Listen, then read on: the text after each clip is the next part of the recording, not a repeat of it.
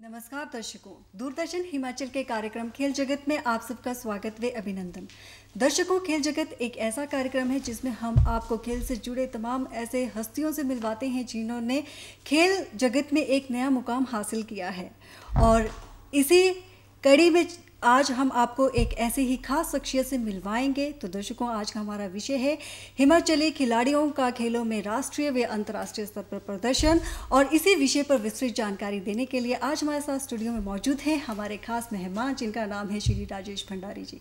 Sir आपका हमारे studio में आने के लिए बहुत बहुत स्वागत है। धन्यवाद दर्शकों जितनी इनकी तारीफ़ की जाए उतना ही कम है। ये एक ग्रास रूट लेवल से लेकर अंतर्राष्ट्रीय स्तर तक जो है वो ये काम करते हैं। ये पंचायत के प्रधान भी हैं और साथ ही साथ में ये राष्ट्रीय व अंतर्राष्ट्रीय स्तर पर युवाओं का खेल प्रशिक्षित भी करते हैं, युवाओं को खेल के प्रति जागरूक भी करते हैं और इसी के साथ ही ये हिमाचल प्रदेश बॉक्सिंग जो एसोसिएशन है उसके ये प्रेसिडेंट भी हैं और ये भारतीय बॉक्सिंग फेडरेशन के सचिव भी रह चुके हैं और आजकल ये वरिष्ठ उप प्रधान के पद पर कार्यरत हैं। और इसी के साथ इतना ही नहीं इन्होंने ओलंपिक गेम्स में पार्टिसिपेट किया है कॉमनवेल्थ गेम्स में पार्टिसिपेट किया और एशियन गेम्स में पार्टिसिपेट किया है। सर आज मुक्केबाजी जो है वो हिमाचल ना ना कि हिमाचल प्रदेश बल्कि पूरे भारत में एक पॉपुलर गेम बन चुकी है। तो आपने जो मुक्केबाजी है उसको एक गेम जो है वो कब ये एस्टेब्लिश हुई हिमाचल प्रदेश में? स्पोर्ट कब आया ये हिमाचल प्रदेश में और भारत में? जब मैं स्कूल में पढ़ता था जी। तो मैंने देखा जहाँ मैं रहता था शिमला में सुमटी में जी। तो वहाँ एक बॉक्सिंग के खिलाड़ी थे जो सवेरे उठ के जी। रोज दौड़ते थे और सवेरे आके एक बोरी सी लटकाई होती थी और उसमें बॉक्सिंग करते थे। जी। तो मैंने एक दिन उनसे पूछा कि ये क्या है इसमें भरा बोरी में? कि ये बॉक्सिंग इसमें रेत और बुरा भरा होता है और हम उस पर प्रैक्टिस करते हैं और अपने मसल बनाते हैं और जी। खेल का ये खेल है बॉक्सिंग जी। मैंने भी खेलना है। मुझे भी शौक आया कि मैं भी खेलूँ। मैं मैं भी खेलना चाहता हूँ कि आ जाओ। उनका नाम श्री विनोद करनाल जी थे। जी। हमारे पड़ोसी होते थे। वहाँ से मेरे को शौक आया बॉक्सिंग खेलने का और स्कूल में मैंने बॉक्सिंग शुरू कर दी सेवेंटी वन में। जी। सेवेंटी से सेवेंटी वन में। और सेवेंटी वन में पहली बारी स्टेट चैम्पियनशिप में मैं पार्टिसिपेट किया है। तो वहाँ से मेरा सफ़र शुरू हुआ है बॉक्सिंग का और फिर उसके बाद स्कूल कॉलेज और स्टेट लेवल और अंतर्राष्ट्रीय स्तर तक हम बॉक्सिंग के साथ जुड़े रहे। जी। और आज भी बॉक्सिंग के साथ जुड़े हुए हैं। जी बहुत खूब। तो सर जैसे आपने बताया कि आपको ये लगाव जो है वो बचपन से ही था स्कूल लेवल से ही था तो क्या इसमें आपके टीचर्स का भी योगदान है कि उन्होंने भी आपको प्रोत्साहित किया कि आप इस बॉक्सिंग गेम को जो है वो अपना एक पैशन बनाएँ? बॉक्सिंग उन दिनों एक नया खेल था हिमाचल में। जी। तो नया खेल होने की वजह से यहाँ पर किसी को इस खेल की जानकारी नहीं थी। सिर्फ़ वो जो शख्स थे मेरे पड़ोस में रहते थे मिस्टर विनोद करनाल वो बॉक्सिंग खेलते थे। और उस वक्त हिमाचल में कोई बॉक्सिंग एसोसिएशन भी नहीं हुआ करती थी। वो एक राष्ट्रीय स्तर के खिलाड़ी थे और हिमाचल की टीम जाती नहीं थी राष्ट्रीय स्तर के लिए तो वो हरियाणा को रिप्रेजेंट करते थे। जो। हरियाणा की ओर से और नेशनल में खेला करते थे। उन्हीं ने यहाँ पर बॉक्सिंग एसोसिएशन का गठन किया सेवेंटी वन में। जब सेवेंटी वन में पहली बार बॉक्सिंग एसोसिएशन बनी पहली चैंपियनशिप जो अनाडेल में हुई तो मैंने भी उसमें भाग लिया। तो तब से ये सफ़र शुरू हुआ फिर यहाँ पर हिमाचल ओपन बॉक्सिंग चैंपियनशिप होती थी और रिच पे ही करवाई जाती थी। उस वक्त के जो थे यहाँ पर doctor Y S Parmar chief minister हुआ करते थे। सेवेंटी वन में तो पूरा हिमाचल स्टेटहुड मिला था। तो सेवेंटी टू थ्री फोर वो स्टेट चैंपियनशिप होती रही। तो परमार साहब का बड़ा प्रोत्साहन था। इस चैंपियनशिप के लिए। तो एच पी ओपन चैंपियनशिप पहले अनाडेल में हुई फिर रीगल सिनेमा यहाँ पर उसमें होती रही फिर रिच पे हुई। इसमें ये नॉर्थ जोन का एक ऐसा कंपटीशन बन गया था कि पंजाब हरियाणा चंडीगढ़ दिल्ली के बॉक्सर आते थे अच्छे अच्छे जाने माने बॉक्सर उसमें मैं कुछ के नाम लेना चाहूँगा शायद कोई दर्शक हो जो उनको जानते होंगे क्योंकि पंजाब के बॉक्सर बड़े प्रसिद्ध हुआ करते थे यहाँ पर खासकर सुनाम संगरूर और चंडीगढ़ के डीएवी कॉलेज चंडीगढ़ के बॉक्सर आते थे जलंधर के बॉक्सर आते थे खासकर चंडीगढ़ के दो बॉक्सर बड़े मशहूर हुआ करते थे न्यूरोज उनको कहते थे कैटलो और रॉस लगेरी। तो उनको देख के हम लोगों का बड़ा प्रोत्साहन मिला। शिमला से काफ़ी बॉक्सर तैयार हुए उस वजह से उस ओपन बॉक्सिंग चैंपियनशिप की वजह से। और आगे जाके उन्हीं में से कुछ जो हमारे बॉक्सर थे राष्ट्रीय स्तर पर भी अच्छा प्रदर्शन किया उन्होंने। तो वो एक सफ़र था शुरुआती दौर का। जी। तो सर जैसे आपने बोला कि 1971 में आपने फ़र्स्ट टाइम जो है वो बॉक्सिंग चैंपियनशिप में पार्टिसिपेट किया वो भी अन्ना डेल में। उस टाइम जिस टाइम हिमाचल में स्पोर्ट का नामो निशान नहीं होता था तो वो अनुभव आपका कैसा रहा उस टाइम स्पोर्ट्स का वो बॉक्सिंग हमारा एक जुनून बन गया था। It was it has become a passion कि अगर अगर सवेरे उठ के इतना शौक था कि सवेरे हम उठ जाते थे चार बजे। दौड़ने जाना। और बॉक्सिंग खेल मुक्के का खेल होता था। लोग डरते भी थे कि नहीं बच्चों को नहीं भेजना। मुक्केबाजी का खेल मुक्का खेल लग जाएगा था लग जाएगा। और हमारे घर वाले भी रोकते थे कि नहीं बॉक्सिंग नहीं खेलना कुछ और गेम खेलो। लेकिन हमें शौक था। सवेरे हम लोग उठते थे और दौड़ने जाना जितने में घर वालों ने उठना तो हमने सो जाना। शुरू शुरू में तो ऐसा होता था। तो काफ़ी घर से भी अपोजिशन होती थी उन दिनों। और लोगों का इनक्रेजमेंट भी नहीं थी लेकिन हम लोग फिर भी खेलते थे। और ऐसा वक्त भी आया कि जब हम लोग स्टेट चैम्पियन बन गए तो घर वालों ने भी देखा कि भाई ये लोग इनका शौक़ है तो फिर इनक्रेजमेंट भी मिली। उसके बाद पंजाब खेलने गए तो पंजाब में मेडल जीत के ले आए हम लोग। तो काफ़ी मुश्किल था शुरू शुरू में क्योंकि मुक्कों का खेल था लेकिन जबकि वास्तविकता में ये है नहीं इस तरह का। जी। इसमें कुछ नियम ऐसे होते हैं कि आपको उस नियमों के अनुसार खेलना पड़ता है। और लोग समझते थे कि मुक्का लगता है कहीं चोट ना लग जाए कुछ फैटल भी हो सकता है लेकिन आज तक कोई कभी ऐसा नहीं हुआ है। जी तो सर जो वो स्क्रीन्स में बताते हैं कि वो मुक्केबाजी बहुत शॉर्ट से देते हैं उनको मतलब उनके मुँह पे देते हैं कभी कहीं तो उनको क्या लगती नहीं है उस टाइम दरअसल में मैं दर्शकों के जानकारी के लिए भी कहना चाहता हूँ कि इसमें कुछ नियम से बंधा हुआ खेल हर खेल नियम से बंधा हुआ होता है। और उस नियम के अनुसार एक टारगेट एरिया होता है जो आपका ये टारगेट एरिया है ये हेयर लाइन्स और ये साइड से और आपका बेल्ट लाइन से ऊपर। ये टारगेट एरिया होता है तो इसके अंदर ही आपको मुक्का मारना होता है और मुक्का भी ये नकल पोर्शन से आप इस तरह से नहीं मार सकते हैं अच्छा। बटिंग नहीं कर सकते हैं इस तरह से नहीं मार सकते हम्म, हैं। हम्म, हम्म। आपको यहीं से नकल पोर्शन से मारना होता है और वो भी टारगेट के अंदर। उसी के पॉइंट्स मिलते हैं। आप इधर मारोगे बाजुओं पे तो स्कोर नहीं मिलता है। तो हम उनको इस तरह से सिखाते हैं बॉक्सर्स को कि आपने टारगेट पे कैसे हिट करना है। तो सर जैसे अगर कोई फेस पे मार देता है अगर कोई उसके फेशियल जैसे टिप पे मार देता है तो उसके क्या वो दांत डैमेज हो जाते हैं? या फिर वो ऐसी ऐसी जी कोई बात नहीं है। आज तक तो किसी के टूटे नहीं है ना ही किसी को इतना फेटल हुआ है। वैसे तो स्पोर्ट्स है हर स्पोर्ट्स में चोट भी लगती है। अगर आप वॉलीबॉल भी खेलोगे। कबड्डी भी खेलोगे हॉकी खेलोगे तो हॉकी लगती है। फुटबॉल खेलोगे तो हिट लगती है। लेकिन बॉक्सिंग में उतनी फेटल कभी नहीं लगी है। क्योंकि जब आपने ओपोनेंट को मारना है तो आपको तो लगेगी। तो हम ऐसी टेक्निक डेवलप करवाते हैं कि मारना है और बचना है। क्योंकि ये खेल है। इसमें ये आपका एम ये नहीं होता कि किसी को नुकसान करना है। इसका खेल हर खेल का ये एम होता है कि इंटरटेन करना है। और इंटरटेन करते हुए ताकि आपको भी खेलने का मज़ा आए और दर्शकों को भी खेलने का देखने का मज़ा आए। मतलब डिफेंस इसमें बहुत ज़रूरी है attack and defence attack and defence है ना? हाँ दोनों चीज़ें हैं तो हम इस तरह से सिखाते हैं कि अटैक एंड डिफेंस आपने स्कोर करना है स्कोर करके बचना है। तो वो टेक्निक जो है ना डेवलप करते हैं। तो सर इसमें जब हम बॉक्सिंग खेलते हैं जैसे हमारे क्रिकेट्स हो गए या दूसरे स्पोर्ट्स हो गए उसमें डिफरेंट रूल्स होते हैं। तो बॉक्सिंग खेलने के लिए क्या क्या रूल्स एंड रेगुलेशंस होते हैं? बॉक्सिंग में सबसे पहली बात तो ये है कि जैसे और गेमों में उसमें कोई एज का क्राइटेरिया नहीं है। जी।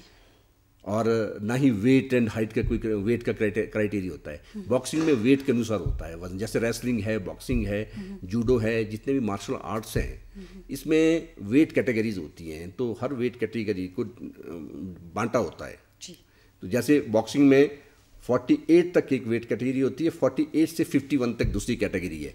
51 से 54 तक नेक्स्ट कैटेगरी होती है। तो इसमें दो या ढाई किलो का फ़र्क होता है, जो उसके बीच में आता है, वो एक कैटेगरी में डाल दिया जाता है, जो उससे ऊपर होते हैं, दूसरी कैटेगरी में जाते हैं। तो इसमें ये भी वेट का खास ध्यान रखा जाता है। तो इसलिए बराबर के लोग ही खेलते हैं आपस में। मतलब ऐसा नहीं हो सकता कि जैसे ट्वेंटी ईयर्स का बच्चा है और उसको थर्टी ईयर्स के साथ जो है वो खिलाया जाता है ऐसा ट्वेंटी ईयर्स का बच्चा थर्टी ईयर्स के साथ खेल सकता है लेकिन वेट का डिफरेंस नहीं होना चाहिए। वेट का डिफरेंस सिर्फ़ दो या ढाई किलो होता है वेट देखा जाता है इसमें। एज ग्रुप एज ग्रुप जो है। वो 18 साल और 18 साल से ऊपर सीनियर में खेलते हैं हम उसको एलीट क्लास कहते हैं। जो। 18 साल से नीचे है हम्म। उसको यूथ और उससे नीचे जो है सोलह पंद्रह चौदह ये जूनियर में आते हैं। जी। अठारह साल से नीचे एज देखी जाती है जो अठारह साल के बाद जैसे आपको अडल्ट जैसे आप हो जाते हैं तो वो सीनियर में आ जाते हैं फिर वो वहाँ पर आप एज चालीस साल तक खेल सकते हैं। लेकिन वेट कैटेगरी का ध्यान रखा जाता है कि वेट का ज़्यादा डिफरेंस ना रहे। अच्छा मतलब ओनली वेट इसमें ज़्यादा मायने रखता है एज ग्रुप इसमें ज़्यादा मायने नहीं रखती है। जब तक आप अठारह साल के हैं। अठारह और अठारह अठारह से नीचे रखा जाता है एज का एज की क्लासिफिकेशन भी है। हम्म, हम्म, हम्म, जी। आ, सर जैसे हम और आप हिमाचल से जुड़े हुए हैं और हिमाचल में अगर देखा जाए तो प्रतिभा की कोई कमी नहीं है।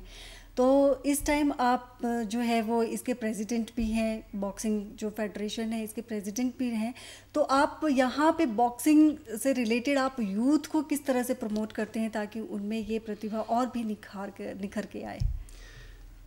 एसोसिएशन की ओर हमारी एक बॉक्सिंग एसोसिएशन है जिसके कि यूनिट से नीचे पंचायत लेवल तक। हम्म। इसके बाद हमारे स्टेट एसोसिएशन के साथ डिस्ट्रिक्ट यूनिट जुड़ी होती है डिस्ट्रिक्ट के साथ नीचे ब्लॉक लेवल की यूनिट्स होती हैं। वो ब्लॉक लेवल की यूनिट्स बन के एक डिस्ट्रिक्ट यूनिट्स बनाती है। और डिस्ट्रिक्ट यूनिट नीचे अपने डिस्ट्रिक्ट में अपने क्लब्स या छोटे छोटे यूनिट बनाए होते हैं उसमें बॉक्सिंग के बच्चे तैयार करते हैं वो लोग। स्कूल जुड़े होते हैं कॉलेज जुड़े होते हैं वहीं डिस्ट्रिक्ट वाले फिर स्टेट में आते हैं। अपना बॉक्सिंग की गतिविधियाँ वो चलाते हैं डिस्ट्रिक्ट लेवल पे फिर स्टेट लेवल पे पार्टिसिपेशन होती है। स्टेट लेवल पे जैसे मैंने हाल ही में हमने एक टूर्नामेंट करवाया है ज्यूरी में रामपुर में। सीनियर का क्योंकि हमारी अगली चैंपियनशिप नेशनल की है। जब नेशनल चैंपियनशिप होती है तो स्टेट की एक टीम जाती है। तो हम लोगों ने नेशनल चैंपियनशिप करवाई है। जितने भी बच्चे उसमें विनर्स हैं हम्म। उनको हमने सेलेक्ट किया है। उनके चयन किया है। आजकल यहाँ यहाँ स्पोर्ट्स कॉम्प्लेक्स में जो है इंदिरा गांधी स्पोर्ट्स कॉम्प्लेक्स शिमला में कैंप चल रहा है उनका।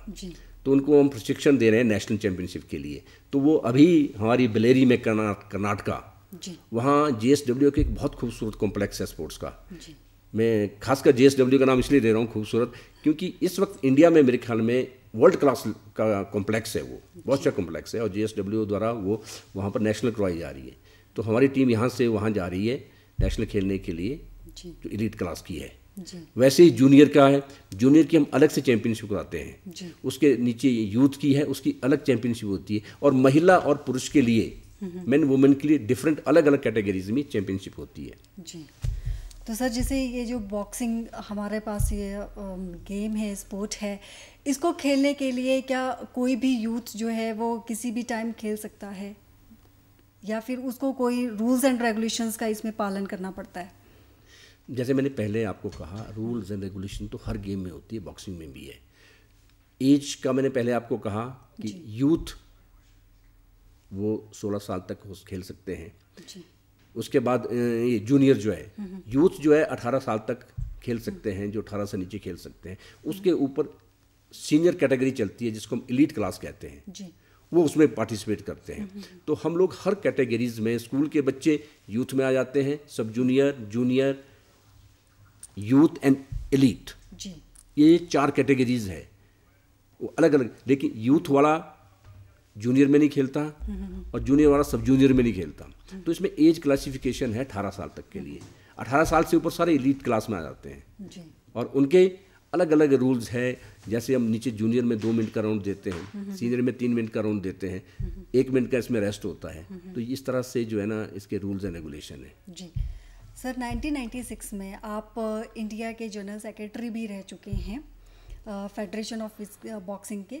तो इसमें आपने उस टाइम जो है वो बॉक्सिंग को प्रमोट करने के लिए आपने क्या क्या कार्य किए? और आपने हिमाचल से और इंडिया से किन किन स्टार्स को इंटरनेशनल स्टार्स को उत्पन्न किया? 96 में मैं नेशनल सेक्रेटरी बना था बॉक्सिंग फेडरेशन ऑफ़ इंडिया का पहली बारी। जी। तो मैं जुड़ा था क्योंकि मैं बॉक्सिंग से जुड़ा था और मुझे इस खेल के बारे में ज्ञान भी था। तो 96 में जब मैंने देखा कि मैं क्या नई चीज़ ला सकता हूँ तो मैंने पहली बार ये फील किया मैन में तो थी लेकिन वुमेन में लड़कियों के लिए कोई कंपटीशन नहीं था। और हमारी जो स्टेट एसोसिएशन थी वो बार बार ये कहती थी कि नहीं कि वुमेन के लिए भी होना चाहिए। तो हमने वुमेन कैटेगरी भी शुरू की उस वक्त। लेकिन विश्व में नहीं थी। बॉक्सिंग वर्ल्ड में कोई वुमेन बॉक्सिंग नहीं होती थी। तो हमने ये मुद्दा अंतर्राष्ट्रीय स्तर पर उठाया। और अंतर्राष्ट्रीय स्तर के जो प्रेसिडेंट थे पाकिस्तान के होते थे उन दिनों प्रोफेसर अनवर चौधरी तो उनसे रिक्वेस्ट की हम लोगों ने। तो उन्होंने हमें कहा था पहले आप इंडिया में शुरू करो। उसके बाद जो है एशिया में और वर्ल्ड में हम शुरू करेंगे। हमने इंडिया में शुरू की इसकी। पहली बारी 2000 में ये नेशनल चैम्पियनशिप यहाँ पर हुई। और उसके बाद 2006 में हमने एशियन चैम्पियनशिप भी यहाँ पर की। हाँ जी। तो एक वुमन कैटेगरी का जो वर्ल्ड में पहली बार बॉक्सिंग शुरू हुई तो भारत का भी एक बहुत बड़ा योगदान है महिला मुक्केबाजी को शुरू करने के लिए। जी मतलब उसके पीछे आपका ही योगदान है जो आपने वुमेंस वुमेन हॉकी वुमेन का जो बॉक्सिंग चैंपियनशिप आपने ही स्टार्ट की है। तो आपने ही मैरी कॉम जैसे स्टार्स को जो है वो आप आगे लेकर आए तो उस टाइम आपको किन किन डिफिकल्टीज का सामना करना मैं पहले तो ये बोल दूँ कि मेरा ही नहीं मेरे साथ कुछ लोग जुड़े थे। हम सब लोगों ने इंडिया में मिस्टर अशोक मट्टू भी थे। हम लोग सब लोगों ने प्रयास किया हम उसमें सफल हुए। और भारत में ही नहीं पूरे विश्व में, में वुमेन बॉक्सिंग शुरू हुई। और उस वक्त हमारे हिमाचल की मैं बात करना चाहूँगा कि हिमाचल से मेरा अपना सपना था कि मैं नेशनल चैंपियन बनूँ पर नहीं बन सका। उसके बाद मेरा मैंने एक सपना पाला कि मैं हिमाचल से स्टार बॉक्सर नेशनल चैंपियन निकालूँ। और और मैं आप मुझे बोलते हुए खुशी हो रही है कि हमने एक नेशनल चैंपियन नहीं निकाले अनेक नेशनल चैंपियन हिमाचल से निकले। और फिर हमने सोचा कि नहीं अंतर्राष्ट्रीय स्तर पे भी हमारे मुक्केबाज होने चाहिए हिमाचल के। आपने देखा अंतर्राष्ट्रीय स्तर पर ओलंपिक स्तर पे आज हिमाचल के मुक्केबाज भाग ले रहे हैं। आशीष चौधरी जिसका ज्वलंत उदाहरण है आशीष चौधरी हाल ही में टोक्यो ओलंपिक में खेल के आ रहा है। एक बहुत बड़ी उपलब्धि है जिससे मैं सोचता हूँ कि हमारे हिमाचल के और जो युवा वर्ग है खिलाड़ी हैं उनको भी प्रोत्साहन मिलेगा। एक इंकरेजमेंट मिलेगी कि हम लोग हिमाचली भी अंतर्राष्ट्रीय स्तर पर ओलंपिक लेवल पर पार्टिसिपेट कर सकते हैं। एक बहुत बड़ा उदाहरण है बहुत बड़ा प्रोत्साहन है। अभी हाल ही पिछले कल ही मेरे साथ था स्टेट चैंपियनशिप में भी। तो मैं ये कहूँगा कि आज खेलों के लिए जिस तरह से सरकार जो है प्रोत्साहन दे रही है खेलों को इस विषय को एक कंपलसरी बना दिया गया है। जो। पहले ऑप्शनल सब्जेक्ट होता था आज कंपलसरी है। तो मैं ये कहना चाहूँगा कि बहुत बड़ा मौका है हमारे युवाओं को इस ओर आने का और एक अपना कैरियर बनाने का। जी पहले आप देखते ही होंगे कि हमारे वक्त में तो पेरेंट्स कहते थे पढ़ो पढ़ो। खेलोगी और मत जाओ खेलो। इवन टीचर्स भी हाँ? जो स्पोर्ट्स की जैसे पीटीए एंड पीएड की क्लासेस होती थी तो उसमें टीचर्स अक्सर ये बोला करते थे कि तुम लोगों ने कौन सा बड़ा गोल्ड मेडल लेकर आ जाना। तो वो आपने वो चीज़ जो है वो आज आपने साबित कर दी कि नहीं, हमने, हमारा जो यूथ है, बोलते हैं कि खाली दिमाग शैतान का घर तो आजकल हमने अपने यूथ को अगर डाइवर्ट करना है तो आई थिंक स्पोर्ट्स जो है वो बहुत अच्छी जो है वो उनके एक माध्यम बन सकता है युवाओं को डाइवर्ट करने का। कहते थे ना पहले कि पढ़ोगे तो बनोगे, नवाब क्या कहावत खेलोगे कूदोगे खराब। आज उल्टा हो रहा है। आज खेल कूद करने वाले नवाब बन रहे हैं। अभी हाल में ही जो बच्चे हमारे स्नेहा लड़की जीत के आई है एशिया में जिसने मुझे कहते हुए खुशी हो रही है। हम्म। और मैं मुबारकबाद भी देना चाहूँगा अपने सारे साथियों को भी आपके इस मंच से कि आज हमारी बच्ची हिमाचल की बॉक्सर एशिया में गोल्ड मेडल जीत के आई है स्नेहा। और प्रोत्साहन इतना है कि एशिया में जीतने के लिए उसको छः हज़ार डॉलर साथ में इनाम राशि भी मिली है। और जिस तरह से गवर्नमेंट प्रोत्साहन दे रही है आपके नौकरियों में रिजर्वेशन है पढ़ाई में आपको एडमिशन के लिए रिजर्वेशन है छात्रवृत्तियाँ अलग से मिलती है बहुत अच्छे प्रोत्साहन मिल रहे हैं। मैं तो ये आह्वान करना चाहूँगा अपने युवाओं को कि आप पढ़ाई ज़रूर करें। पढ़ाई के साथ खेल कूद भी बहुत ज़रूरी है। जी बिल्कुल। खेल कूद से जहाँ आप अपने स्वास्थ्य स्वस्थ रहते हैं। हम्म। आपका आपने अभी कोविड के काल में आपने देखा होगा कि इम्यून सिस्टम आपका बहुत स्ट्रांग होना चाहिए। इम्यून सिस्टम कहाँ से ठीक होगा? जब तक आप जब आप अपनी बॉडी को फिट रखोगे। फिट रखने के लिए आपको खेल कूद एक्सरसाइज करना बहुत ज़रूरी है। वो तो है तो आप खेलो। और स्पोर्ट्स के आदमी आपने देखे होंगे जितने भी स्पोर्ट्स मैन हैं बहुत कम जो है कोविड के शिकार हुए होंगे। जी बिल्कुल। तो खेल एक जीवन का आवश्यक अंग बन चुका है। था तो पहले से ही हमारे ऋषि मुनि भी करते थे योगा क्या है एक खेल ही था। जी। योगा के द्वारा जो है ना खेल कूद मुष्टि युद्ध हुआ करते थे। लेकिन आज एक साइंटिफिक तरीके से खेल को शुरू किया गया है। जी। जी बिल्कुल। आ, सर आपने ओलंपिक गेम्स में भी पार्टिसिपेट किया है एशियन गेम्स में भी पार्टिसिपेट किया है और कॉमनवेल्थ गेम्स में भी। तो जब आपने इन गेम्स में पार्टिसिपेट किया है तो आपके अनुभव कैसे रहे? उन उन अनुभवों को हमारे दर्शकों के साथ साझा कीजिए। मैंने एज टेक्निकल ऑफिशियल्स मैं अंतर्राष्ट्रीय स्तर का एम्पायर और रेफरी जज भी हूँ। मुझे मौका मिला है एम्पायरिंग करने का अंतर्राष्ट्रीय स्तर पे। और मैं एज ए प्लेयर तो नहीं खेल सका लेकिन खिलाया मैंने ज़रूर है अंतर्राष्ट्रीय स्तर पे खिलाड़ी। और अ, मुझे मौका मिला है इवन जो बॉक्सिंग के और स्पोर्ट्स जगत के आइकॉन रहे हैं मोहम्मद अली। जब मैं सिडनी ओलंपिक्स गया तो मुझे उनको वहाँ मिलने का भी मौका मिला। स्पोर्ट्स जैसे मैंने पहले कहा कि स्पोर्ट्स से जो है ना एक sports should be a way of life मेरा अपना मानना है। स्पोर्ट्समैन स्पिरिट बिल्कुल। जो होती है लाइफ में भी स्पोर्ट्समैन स्पिरिट होनी चाहिए। अगर हम स्पोर्ट्समैन स्पिरिट की के से लाइफ को लें तो हम हमेशा आगे ही बढ़ेंगे। एक पॉजिटिविटी आती है होनी चाहिए स्पोर्ट्समैन में। हमारे जब हमने शुरू किया मैंने आपको पहले भी बताया कि बॉक्सिंग ऐसा खेल था मुक्कों का खेल था। लोगों को डर लगता था कि कहीं चोट ना लग जाए। तो लेकिन हमने कन्विंस किया लोगों को नहीं चोट वाला खेल देखने के लिए चोट ज़रूरी भले ही है कि चोट लगती है। किसी को आप मार रहे हैं तो लेकिन चोट लगेगी। चोट लेकिन इसमें ऐसा है नहीं है। नहीं। तो हम लोगों ने लोगों को कन्विंस किया कि चोट लगने वाला खेल नहीं है। ये सिर्फ़ एक गेम है इंटरटेन करने के लिए एक खेल है ये भी। तो उसमें हम काफ़ी हद तक सफल भी रहे। आज अगर आप देखो तो इंडिया ही नहीं विश्व में बॉक्सिंग पॉपुलर खेलों में से एक खेल है। जी। 204 कंट्री बॉक्सिंग खेलती है। अगर फुटबॉल के बाद आप देखोगे बॉक्सिंग नंबर टू पे आता है। अभी हमने बॉक्सिंग लीग करवाई। व्यूअरशिप क्रिकेट के बाद नंबर टू बॉक्सिंग की थी। जी। स्टार टीवी ने इसको कास्ट किया। तो सबसे ज़्यादा व्यूअरशिप बॉक्सिंग की थी आफ्टर क्रिकेट क्योंकि इंडिया में क्रिकेट तो एक धर्म है धर्म बन चुका है। लेकिन मतलब काम छूट जाए क्रिकेट नहीं छूटना चाहिए। वो हम तो लोग देखते थे हमारे हमारे मैं मेरा बैकग्राउंड एक गाँव का है। तो मैं देखता था गाँव में लोग जब अपनी गाय के पास जाते थे तो छोटा सा ट्रांजिस्टर होता था। वो कमेंट्री ज़रूर सुन लेनी। तो जुनून था क्रिकेट तो एक जुनून बन चुका है लोगों का एक धर्म बन चुका है इंडिया में तो। लेकिन क्रिकेट को खेलने वाले 10-12 कंट्रीज़ है। बॉक्सिंग को 204 कंट्री खेलती है। बिल्कुल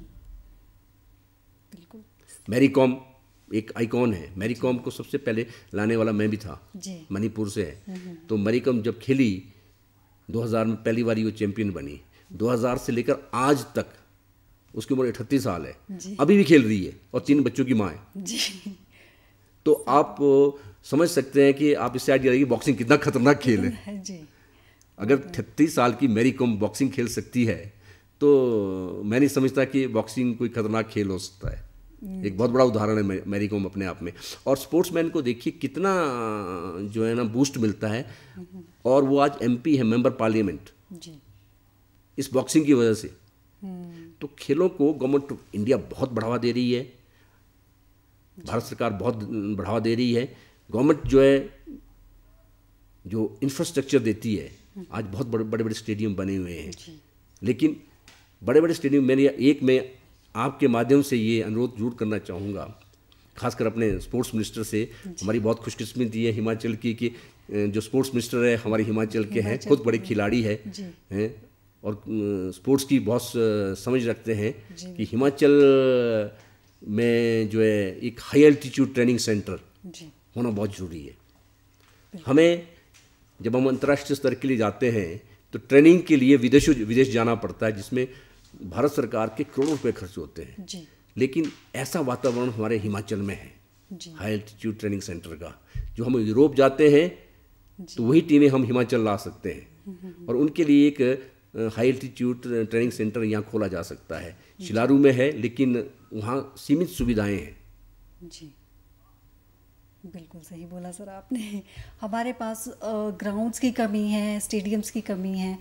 तो वो कमियाँ तो है लेकिन फिर भी हमारे हिमाचल से जो है वो स्पोर्ट्स पर्सन जो है वो निखर के आ रहे हैं वो सब आपकी ही बदौलत है सर हाल ही में आप जो हमारी बॉक्सिंग टीम है वो दुबई में गई और उसका नेतृत्व आपने किया तो जब आप उस टीम को दुबई लेकर गए तो आपके कैसे अनुभव रहे वहाँ पर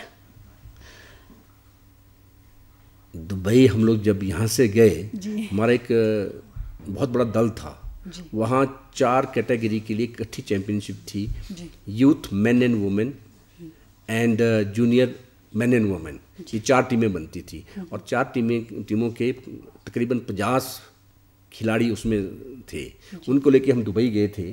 और आपको पता ही है कि इस काल में जो पेंडेमिक कोविड पेंडेमिक चल रहा है बहुत मुश्किल है कंपटीशन कराना। लेकिन दुबई वालों ने बहुत खूबसूरती से बहुत अच्छी तरीके से उसको कराया। वहाँ पर और मुझे ये बताते हुए बहुत खुशी हो रही है कि हमारे बच्चों ने थर्टी नाइन मेडल जीते। जिसमें चौदह गोल्ड है चौदह सिल्वर है। और ग्यारह ब्रॉन्ज मेडल जीते गए हैं। और उसमें खुशी की बात यह है कि हमारे हिमाचल की भी एक लड़की जो बॉक्सर है स्नेहा किन्नौर से उसने भी गोल्ड मेडल जीता है। हिमाचल के लिए तो ये गर्व की बात है सर। और हमारे लिए बहुत गर्व की बात है। और ये और बच्चों के लिए जैसे मैंने पहले कहा एक बहुत बड़ा उदाहरण है जब स्नेहा गोल्ड मेडलिस्ट हो सकती है दूसरे क्यों नहीं हो सकते? उनके साथ जो बच्चे खेलते हैं यहाँ पर वो भी मेडलिस्ट हो सकते हैं। और मैं मैं पूरे विश्वास के साथ कह सकता हूँ कि हमारे हिमाचल में बहुत पोटेंशियल है। और आने वाले समय में आप एक नहीं कई चैंपियन देखोगे यहाँ से। उसके लिए ज़रूरत है इंफ्रास्ट्रक्चर की। ग्राउंड ग्राउंड की ज़रूरत है। छोटे छोटे ग्राउंड की ज़रूरत है इंडोर हॉल की ज़रूरत है और इक्विपमेंट की ज़रूरत है। कोचिज खासकर कोचिज प्रशिक्षकों का होना बड़ा ज़रूरी है जिसकी बहुत कमी है आजकल यहाँ पर। जी। राजेश भंडारी जी ये तो आपने बहुत सही बोला कि इंफ्रास्ट्रक्चर की कमी है वो रहेगी ही लेकिन वो साथ समय के साथ साथ में भी इसमें कोई परिवर्तन आए हमें अच्छा स्टेडियम मिल जाए तो हमारे खिलाड़ी जो है वो निखर के आएँगे।